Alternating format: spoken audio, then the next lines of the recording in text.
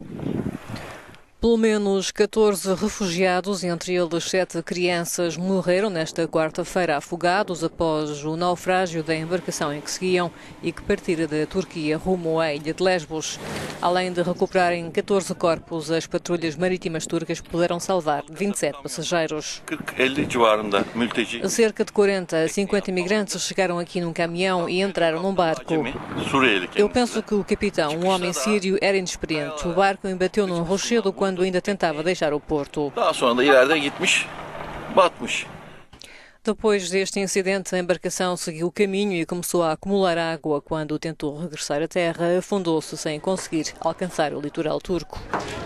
A Turquia abriga cerca de 2 milhões de refugiados sírios, dos quais 10% vivem em acampamentos e o resto sobrevive por conta própria no país. Não têm estatuto legal de refugiados, nem podem trabalhar legalmente.